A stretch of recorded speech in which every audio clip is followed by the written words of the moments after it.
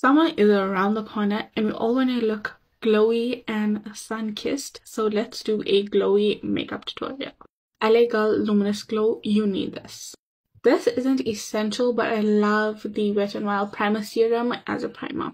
So I'm going to go in with a little bit of the primer serum and then a little bit of the LA Luminous Glow to prime. And just look at the glow already.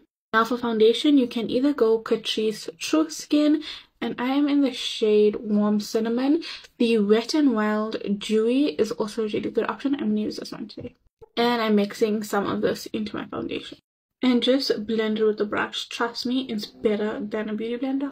And then when it is mostly blended out, just tap it in nicely into your skin so it looks skin-like and still very glowy with the sponge. And then I'm going to cream contour. Any will do. And then for concealer, you can use any, you can use a full coverage one if you need to. You can use a dewy concealer, anything that you prefer. Oh, this is my placement and then keep blending.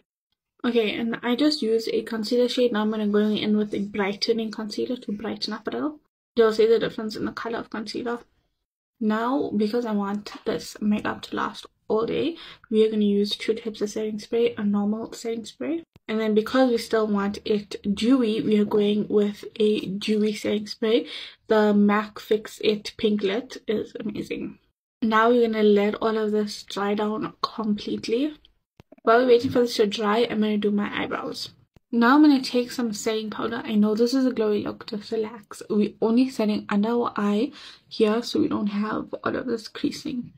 We're going to blend out the creases with the beauty blender first and then set. Then it's summer. Of course, we need blush. Any liquid blush that you have will be amazing. I'm using the SHEGLAM one in the shade Love Cake. Look at the skin. Now for my lids, I'm taking a light shade like this and just setting my whole eyelid and leaving it as it is. The combo, I'm going in with a brown lip liner. And then I'm going in with a Gloss Listerine in Gloss Noir. And then you can put some of that blush shade on your lip to give it some color. Now we're going to go in with highlighter. If you have a liquid highlighter, that will be amazing. I don't have a liquid highlighter, and if you don't have a liquid highlighter, any highlighter would do. With your highlighter, just put it on the center of your lid, like that. Go in with the mascara. And this is the final glowy, dewy look.